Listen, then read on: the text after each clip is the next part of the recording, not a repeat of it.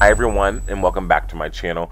If this is your first time here, my name is Cameron Felix and I am everyone's go-to consultant on how to live your most effortlessly fabulous lifestyle. In today's video, I will be going over a few beautiful and chic straw hats that I've come across this season, um, summer 2021.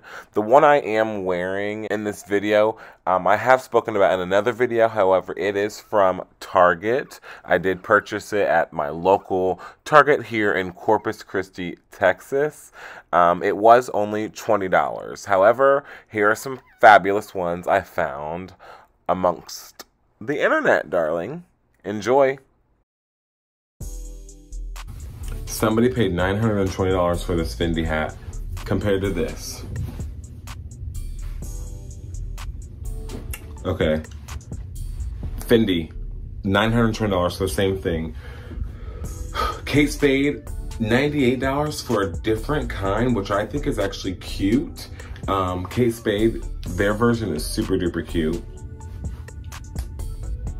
Gucci 470, oh, the Kate Spade one, you guys, is $98. It's super cute. I like that one. Uh, the Gucci version on Mytheresa, 470 plain as hell. And I hate, I don't know if I've expressed this on here before, but the Gucci Marmont GGs, how it looks in this picture, I'll show it.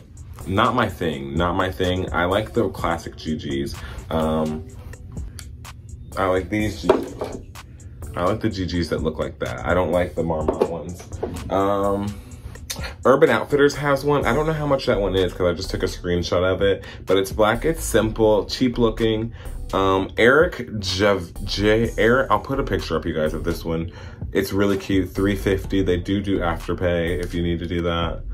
Inca, 129. They do afterpay as well, but that's still a little bit much. All right. I want to thank you for watching my video. Please give this video a thumbs up if you enjoyed the content. Um, subscribe to my channel, ring the bell so that you can be notified when I do upload. Um, I upload at least one video per week on, on fashion, lifestyle, and beauty, um, and with a touch of class, elegance, and of course, darling, luxury. Thank you for watching. Have an effortlessly fabulous day.